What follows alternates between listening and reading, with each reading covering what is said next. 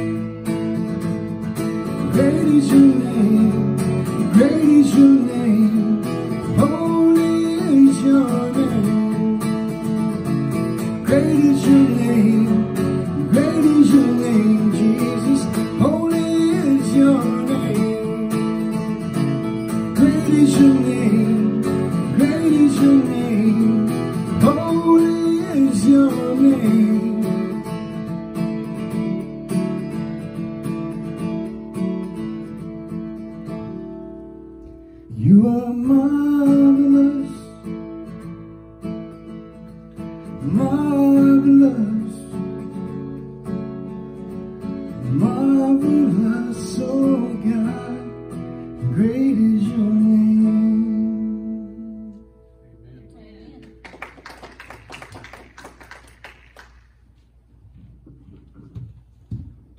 Thank you, Jimmy. Well, there you are. If you will turn to 2 Samuel chapter 6. 2 Samuel 6. You may want to reach for a hymn book. You may not need to, but hymn number 136, song that I have grown up all my life singing. It is a prayer. Uh, Spirit of the living God. If you need the words, there they are. Would you just bow your heads and sing with me this prayer? Spirit of the living fall fresh on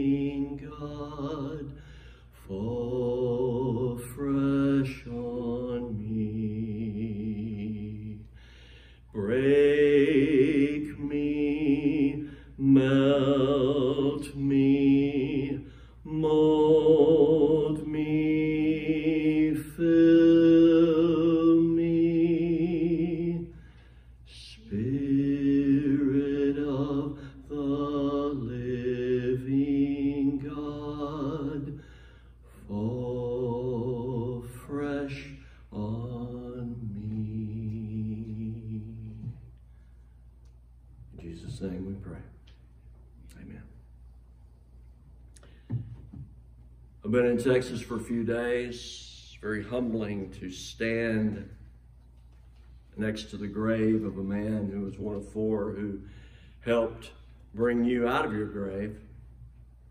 And I'm grateful for the time spent there praying for my brother's family. Doug Johnson is my friend, and I know where he is, and I didn't say was.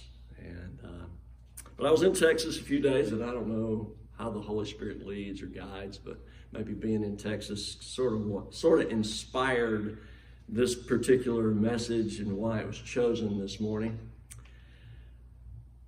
If you look back out in the frontier, a dance was big doings.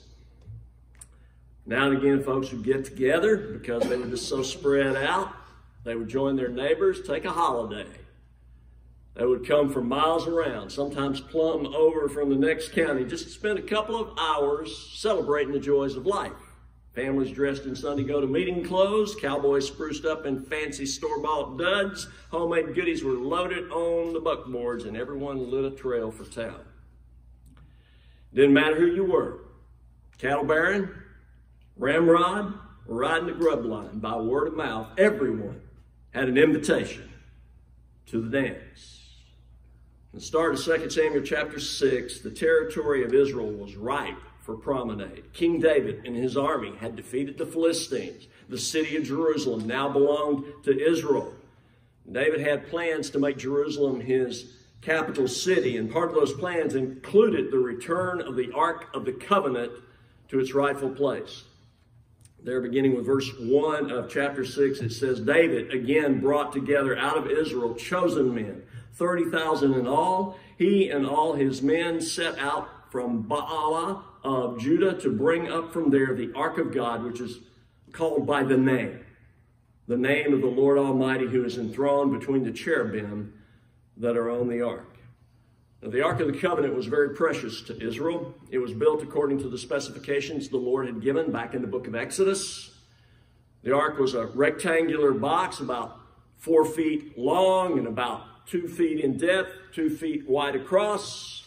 It was overlaid with gold, and on either end were two cherubims, two angel like creatures, and they were on either side. They framed the space between the two of them, somewhere there on the Ark of the Covenant, and that represented the mercy seat of God, is where God sat in the presence of his people as the people worshiped him. There were three items contained inside of the Ark of the Covenant. There was uh, the ta stone tablets that Moses brought down from top of Mount Sinai the second time. First time, remember, he broke them. It contained Aaron's rod, which budded in the wilderness, and it also contained a jar of manna, the food that God used to feed his children for 40 years. More than anything else, though, the Ark of the Covenant was a symbol of the presence of God among his people. For over 30 years, this symbol of God's presence had been missing from the children of Israel. You see, Israelites one day had foolishly, foolishly used the ark as a good luck charm on the battlefield. They took on a battle that God did not intend them to fight. And as a consequence, they lost on the battlefield and they also lost the Ark of the Covenant. The Philistines captured it, took it to Ashdod. They placed it inside Dagon's temple. That was one of their gods. What they were doing is saying, look, Dagon is bigger than the Lord God Almighty. And in Ashdod's temple, the first night that it was in Ashdod's mm. temple, or excuse me, Dagon's temple, Ashdod, Ashdod is the town. The first night it was there, that statue of that false god, Dagon, fell off its pedestal, hit the ground. They set it back up. The second night it fell again, as if bowing before the Lord God Almighty, and broke its hands off and broke its head off. Then tumors broke out among the people of Ashdod. They said, we need to get this thing away from here. They sent it on to another town. They sent it to Gath, same results. They moved it to Edom, same results. Excuse me, Ekron, same results. And finally, after seven months, they grew so wearisome of the devastation caused by the Ark of the Covenant that they built a new cart for it, the Philistines did. They loaded it up and they sent it packing back to Israel. They just sent it, go, get away. And the Ark of the Covenant eventually arrived in Kiriath Jearim. There it was placed under the care of the household of Abinadab. Abinadab consecrated his son, Eleazar, to guard the ark of the Lord. And for over 30 years, the ark of God's covenant with his children of Israel remained out in a barn in Abinadab's place. The Israelites made no attempt to return it to Shiloh. Now, the first king of Israel came along, King Saul. He showed no interest in the abandoned ark, but when David was crowned as Israel's chosen king, and when Jerusalem belonged once again to the Israelites, David's natural inclination was to restore the Ark of the Covenant to the place of worship. Second, excuse me, First Chronicles 13 kind of fills us in with a few verses. It says, David, David conferred with each of his officers, the commanders of thousands and the commanders of hundreds. He then said to the whole assembly of Israel, If it seems good to you, and if it is the will of the Lord our God, let us send word far and wide to the rest of our brothers throughout the territories of Israel, and also to the priests and Levites who are with them in their towns and pasture lands to come and join us. Let us bring the ark of our God back to us, for we did not inquire of it during the reign of Saul. And the whole assembly agreed to do this because it seemed right to all the people of God. So David sends out an invitation to the dance, an opportunity for all to, after 30 years, dance with God. The word spread like a prairie grass fire. There's big doings in Jerusalem tonight. You can hardly imagine the preparations going on, getting ready. A parade route was marked. People donned their Sabbath best. A band was hired and began to practice. The fiddlers tuned, the callers resuscitated the memories to forgotten worship recitations. A tent tabernacle was prepared by David to honor the abandoned ark. Lanterns were hung in the town square. The waft of fresh baked bread and fresh baked raisin cakes filled the breeze. Carpenters hammered out a new cart to, to transport the ark back home. The quartermaster issued equipment. 30, 30 excuse me, 300, said it, said it right to begin with, 30,000 soldiers. That's the same amount as was killed on the battlefield when the ark was taken. 30,000 soldiers line the streets. Horses are saddled. Chariots are hitched. David gives the orders, head them up and move them out. And off they go to the house of Abinadab, seven miles southwest from Jerusalem. For David, literally a hot, hop, skip, and a jump away, as we shall see in just a moment. You could see the city of Jerusalem from Abinadab's backyard. That's how close these two towns were. Verse 3 says, They set the ark of God on a new cart and brought it from the house of Abinadab, which was on the hill. Uzzah and Ahio, sons of Abinadab, were guiding the new cart with the ark of God on it, and Ahio was walking in front of it. Now the dance has begun. The crack of the whip over the head of the oxen has opened up the ball. They're moving toward Jerusalem. Verse 5 says David and the whole house of Israel were celebrating with all their might before the Lord, with songs and with harps, lyres, tambourines, sistrums, and cymbals. There was cause for celebration. There was reason for great joy. The Ark of the Covenant, the symbol of God's presence with his people, was on his way, on its way to Jerusalem. The symbol of God's presence was on its way to the house of worship. How can you not sing at a moment like this? How can you keep your tongue from shouting hallelujah? This is like Easter. This is like resurrection morning. How can you keep your toe from tapping? How, how could you want to stifle such joy? God's the only one who could stop this kind of worship. And you know what? Before very long, they hadn't gone very far down the road when God did exactly that.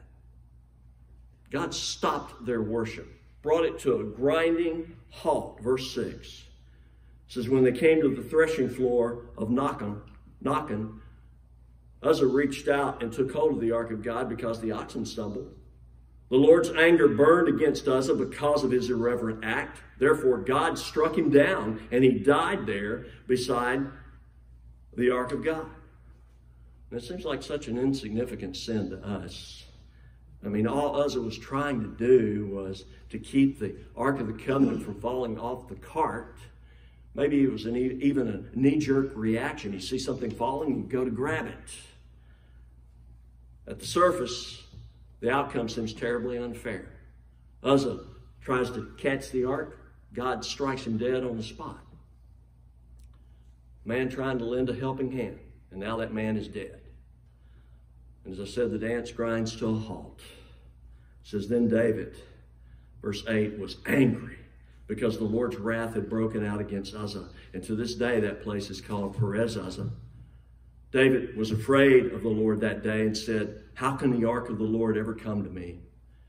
He was not willing to take the ark of the Lord to be with him in the city of David. Instead, he took it aside to the house of Obed Edom, the Gittite. David calls off the dance. Take down the lanterns, put away the fiddles, put the raisin cakes in Tupperware, exchange your broomstick skirt for ash for, for sackcloth. Tear up your dance cards. Park the ark in Obed Edom out in his shed. The dance is canceled until we find out what happened. Why did Uzzah die? The only portion of the divine coroner's report, report, that we are allowed to read in Scripture says that he died because of his irreverent act. Closer examination reveals that Uzzah died of presumption. A lot of people back in the Old West died of consumption. Well, Uzzah died of presumption. First, after an invitation to a dance is extended, we discover that some people, when the invitation is given, some people will be struck with the presumption of the overfamiliar. When you think about it just for a few moments. For 30 years, the symbol of the presence of Jehovah had remained camped out in Abinadab's barn. For 30 years, Abinadab and his sons looked after the most sacred of worship furniture. Uzzah was one of those sons. He grew up with this ark out in the barn. Surely it had been a blessing to their family, just as it was now to Obed Edom. I think their barn became a shrine. I can only imagine curiosity seekers stopping by and saying, hey, can, can, we, can we see the ark? Perhaps through the years, a bit of pride built up through Abinadab's clan. Probably they, probably they began to fill themselves with self-importance. They began to consider themselves the caretakers of God. As was so often the case, and still is, God's identity became confused with the symbol of his identity. As ironic as this may sound, you may confuse this right here with Almighty God. This is not to be worshiped. God is to be worshiped. God gave us this. These are his words. Yes, this is reverent, but don't confuse it. And it draws us to the living word John 1 talk, tells us about. When David issued an invitation to a dance, Uzzah and Ahio naturally assumed that they were needed to escort God and box on the way back to the holy city. They assumed the role of trail guides. We're going to help make this dance possible. We're going to look after God like we've done these last three decades. We know more about the Ark of the Covenant than anybody else. We are the experts. We own the museum. We have cared more about this ark through the years than anybody. We're the only ones in Judea who have been tight with God these past few years. And if this job is ever going to get done, we're going to have to do it ourselves. Off they go with their most prized possession. And when the ox stumbled and the cart shifted, Uzzah, the caretaker, attempted to take care of God. And the next thing you know, the caretaker needs an undertaker. So it goes with everyone who presumes to take care of God, who presumes to take care of the Lord's business. You need to understand, we don't take care of God. God takes care of us. We don't defend God's word. God's word defends itself. God takes care of us. He looks after all of us. Uzzah had grown so overfamiliar with the presence of God at his house that he had no regard for the sanctity of the ark. The symbol of God's presence was always with him, yet the reality of God's presence was somehow lost to him. Somewhere along the way, Uzzah lost the sense of awe. 90 days go by as David ponders the implications of Uzzah's death. During that time, David did some Bible study and he had an aha moment. Uzzah had committed the sin of overfamiliar presumption. David discovers that he had committed the sin of underinformed neglect. For according to the law of Moses, God had established specific guidelines regarding ark transportation. Numbers 4:15 it says after Aaron and his sons have finished covering the holy furnishings and all the holy articles and when the camp is ready to move the Kohathites are to come to do the carrying but they must not touch the holy things or they will die. The Kohathites are to carry those things that are in, that are in the tent of meeting. Number 7 9 elaborates a little further how they were to carry these holy things.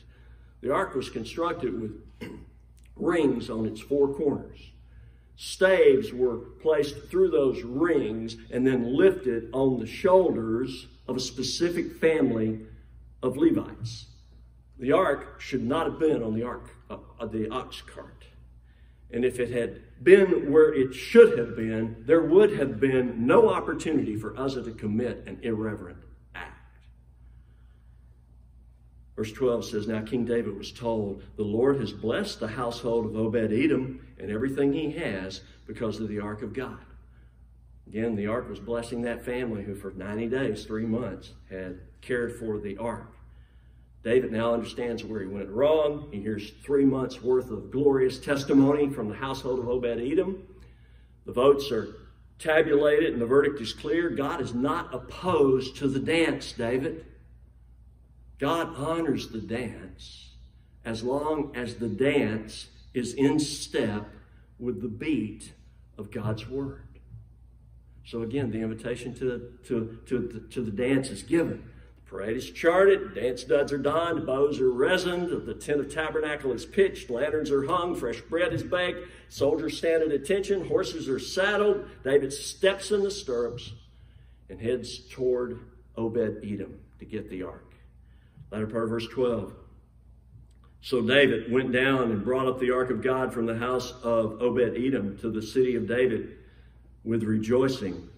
When those who were carrying the ark of the Lord had taken six steps, David sacrificed a bull and a fattened calf. Got six steps out of the barn. Barely got out of the barn. David was like, I'm not going to make the second, make the, make the same mistake twice. And right there, David offers up a sacrifice. Worship was ignited at that point. The dance has begun. As in Uzzah, we saw the presumption of the overfamiliar. Now we see in David the abandonment of the overwhelmed. The abandonment of the overwhelmed. They lit that sacrifice. After that sacrifice, they moved those seven miles toward Jerusalem. There in verse 14.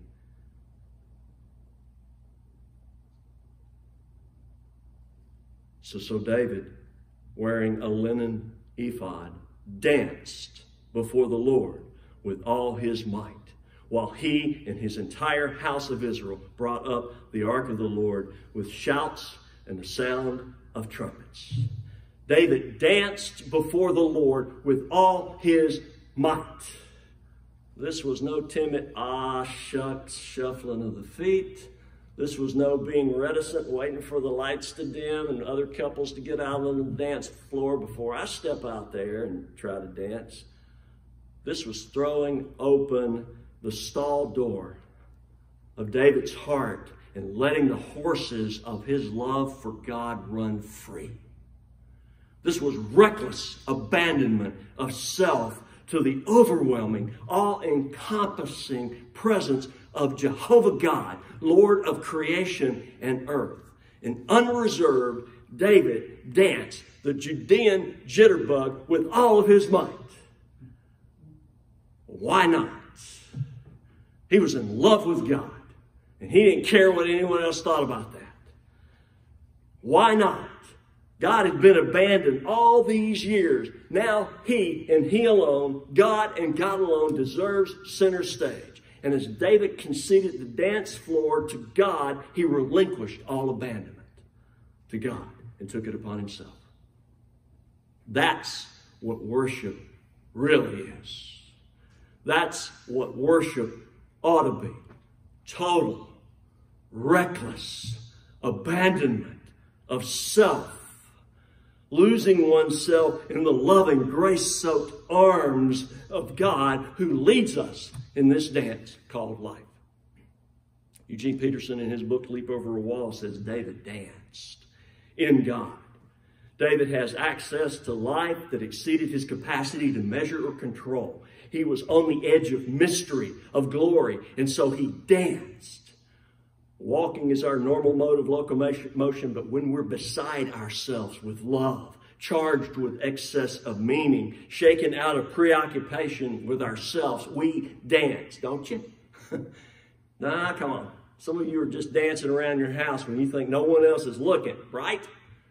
Worship is the strategy by which we interrupt our preoccupation with our puny little selves and attend to the presence of God. David was caught up in the dance because David was caught up in the relationship. Little wonder that God spoke well of David by saying, There's a man whose heart beats in sync with mine. David was doing the boot scoot boogie to the glory of God. And I'll just tell you, I'd rather do the boot scoot boogie. David's boot scoot, scoot boogie in Jubilee over Jesus' relationship with me than Uzzah's boot heel shuffle of religion any day of the week. Well, when you're invited to the dance, there will always be the presumption of the overfamiliar. And I pray to God there will be someone who takes up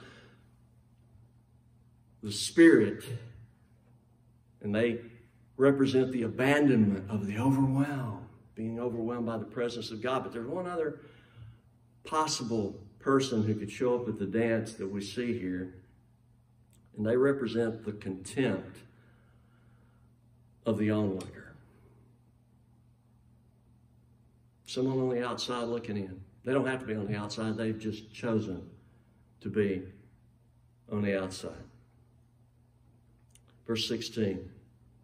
As the ark of the Lord was entering the city of David, Michal, Queen Michal, David's wife Michal, daughter of Saul, watched David from a window. And when she saw King David leaping and dancing before the Lord, she despised him in her heart.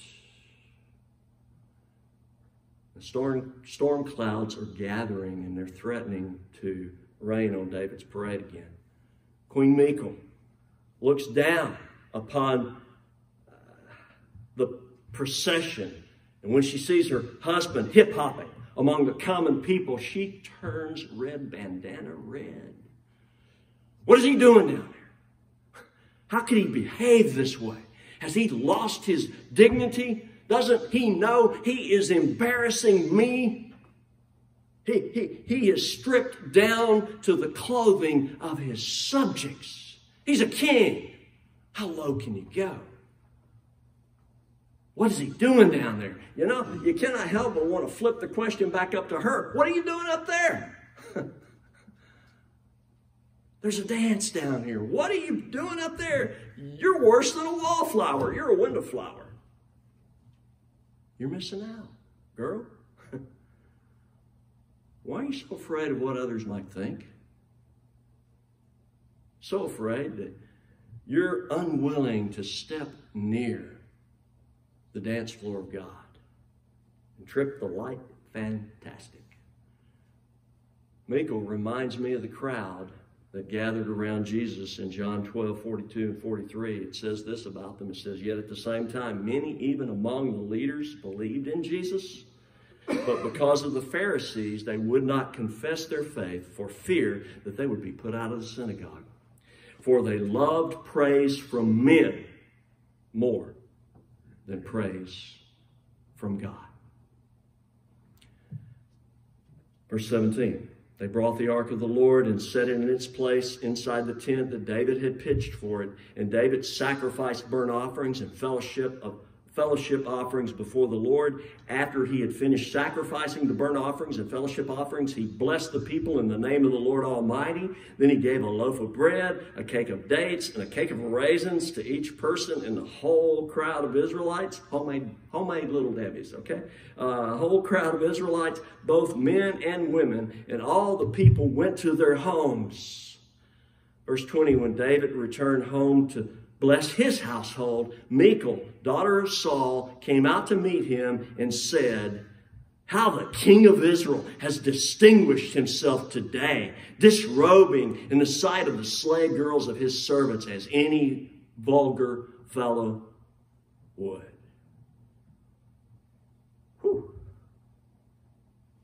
As soon as David steps through the door, Michal attempts to pour water on holy fire. So it goes with those on the outside of a relationship looking in. Those who hold invitations to the dance, who for whatever reason consider the dance foolish or miss the point of the dance. Those outside of the dance with Christ are often scornful of the dance. There's a warning for those who have succumbed to the reckless abandonment of faith Perhaps the number one reason why so many Christians refuse to dance, to choose to sit it out.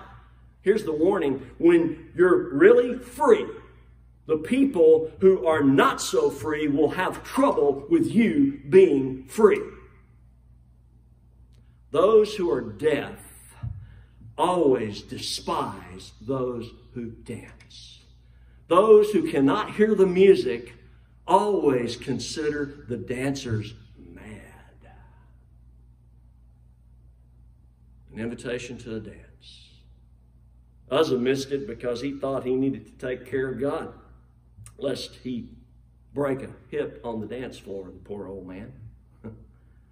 Michal missed it because she didn't care to, but David enjoyed a heavenly hoedown, hoedown because he cast his eyes upon the Lord. Verse 21 this is a sad verse. The implications in this are very sad. He says, David said to Michal, It was before the Lord who chose me rather than your father or anyone from his house when he appointed me ruler over the Lord's people Israel. Pride's entering into David's heart right here. I will celebrate before the Lord. I will become even more undignified than this. And I will be humiliated in my own eyes, but by these slave girls you spoke of, I will be held in honor. Now, my heart is in line with David when he says, I will be more undignified than this. If you think I, I was undignified then, I'm just getting started. But I see a shift in David's attitude right here that's concerning to me. David reminded Michal, I wasn't dancing with you or for you. I was dancing before the Lord. But it seems there's no humility as David says this. I'll tell you why I know that. Because verse 23 says, And Michal, David's wife, daughter of Saul, had no children to the day of her death. She still lived in the palace, but David was done with her there was a crack in their relationship that did not get mended. And if you just go over four chapters, chapter 11, that's when David strolled up to the top of the palace and saw Bathsheba taking a bath. And a seed of it was planted right here, maybe even before here. I read this now and I'm like, David, David, what you should have done is said, please pray with me. Michal, let's you and I pray. Let's you and I come and hit our knees before Almighty God. Pray with me. That, that, that should have been David's response. And I agree. Revised Standard Version, when he says, I will make merry before the Lord, I understand that. I agree. I will take make myself more contemptible than this. I understand that.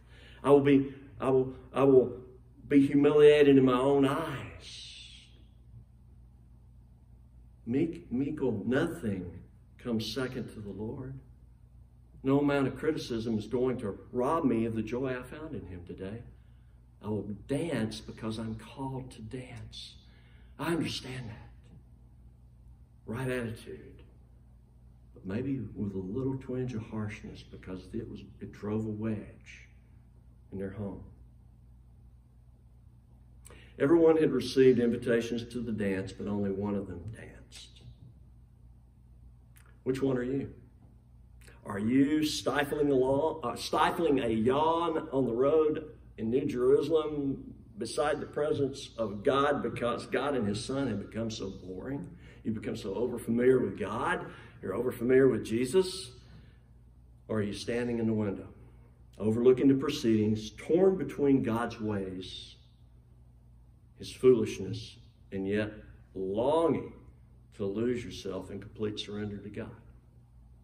Or are you caught up in the wonder of grace like David was, swept off your feet by the worship of your heart, lost in obedient sashaying to the will of God?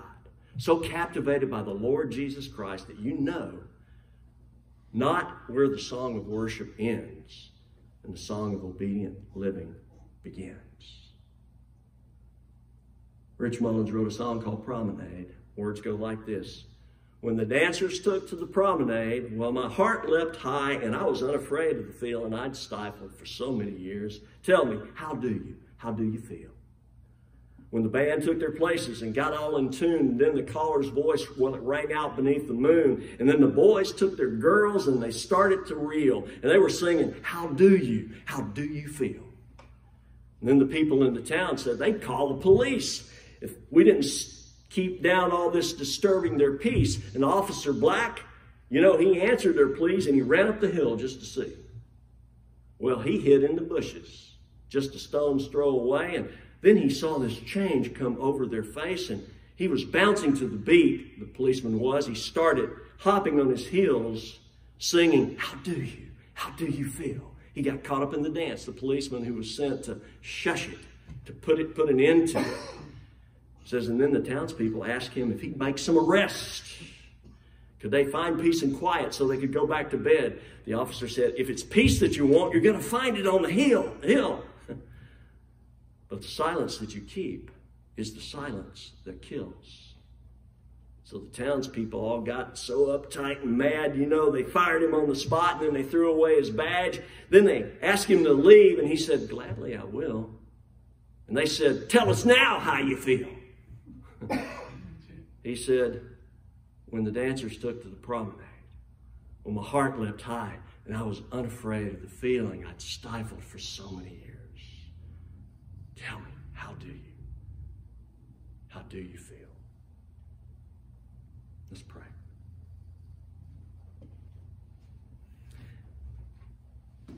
An invitation to God's dance is extended to all. It is etched in blood upon a tablet of wood.